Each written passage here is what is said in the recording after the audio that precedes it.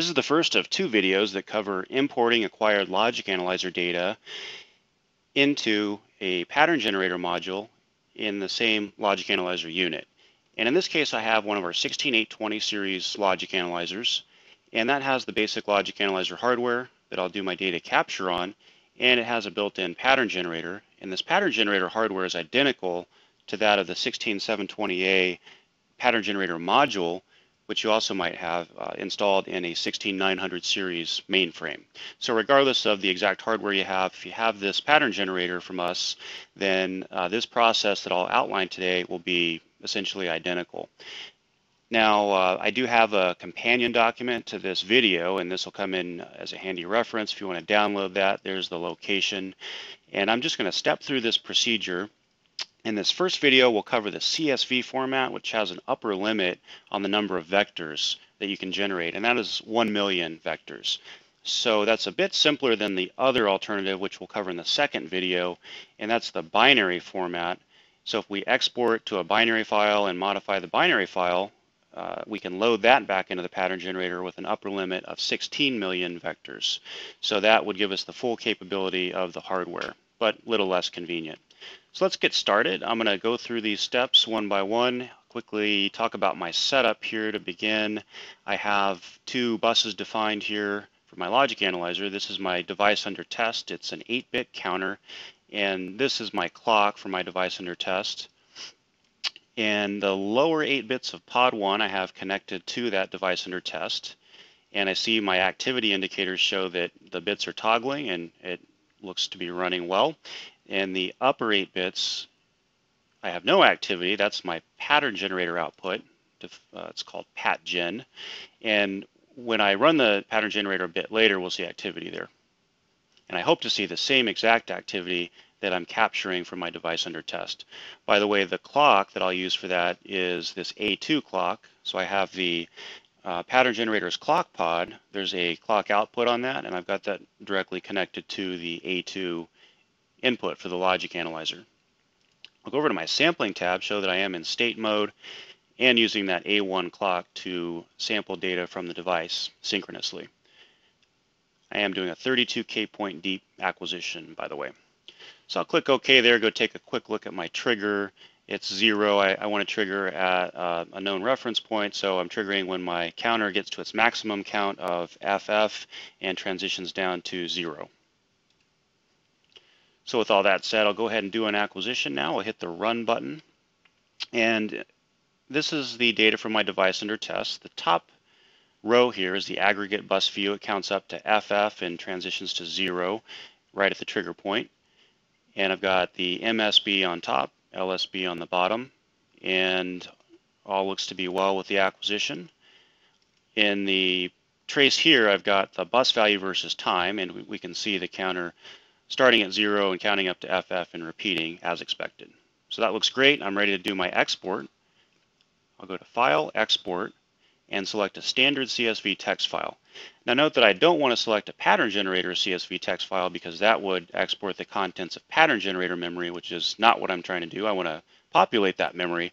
So I want to export the logic analyzer data to this standard CSV text file. Now I've got a few options here. I, I want to make sure that this all data box is unchecked. I'll click the data range button and either of these two buttons take me to the same range properties dialog. Under the data range tab I can specify a subset of the data to export if I like or just stay with all 32k points. And under bus signal selection I want to make sure and deselect anything that I don't want to export. So I'm just going to select my device under test data, no time tags or anything like that. And now I just need to give it a file name, and it'll create my file called export.csv, and that's in the export files directory by default. Now you don't want to open this CSV file in Excel. I'd recommend against that. Instead, just use a, a text editor like Notepad or whatever you have, whatever you like. I have this tool called Ultra Edit that I like, so I'll drag that CSV file into my text editor, and I see the first row there is the name of the bus, and I just need to do a, a return after that and insert this header information so the pattern generator will be able to recognize it.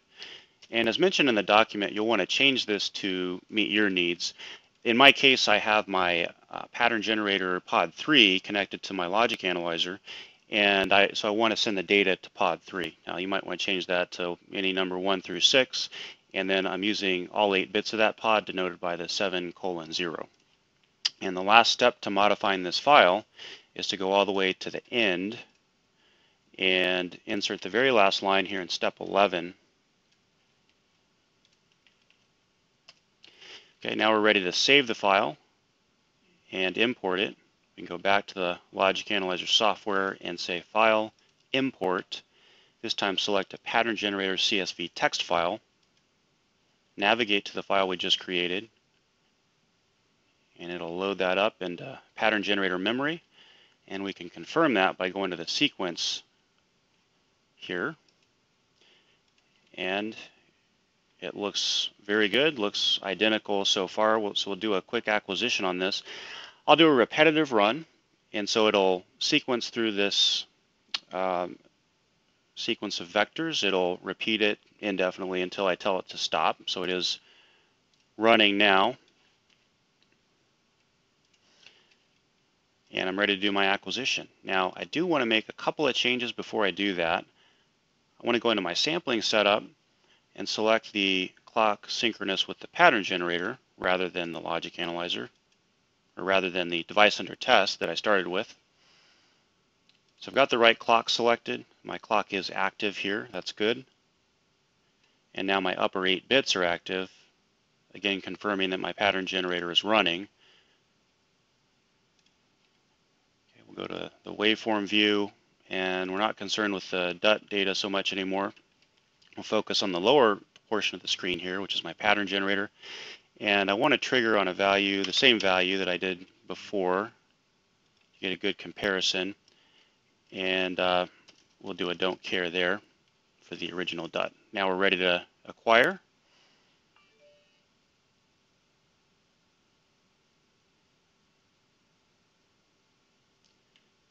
Takes a moment to initialize, and now we see we've got a very good looking set of data there.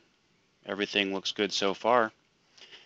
And if we wanted to, we could do a, a comparison on this using the compare tool. I, I, won't take the time to do that now, but I have gone through that exercise and confirmed that all 32K uh, vectors are faithfully reproduced. So that I get the exact same data that I acquired from my device on the output of the pattern generator. So that's all there is to it. And again, in the next video, we'll be covering the binary format with the 16 meg vector limit.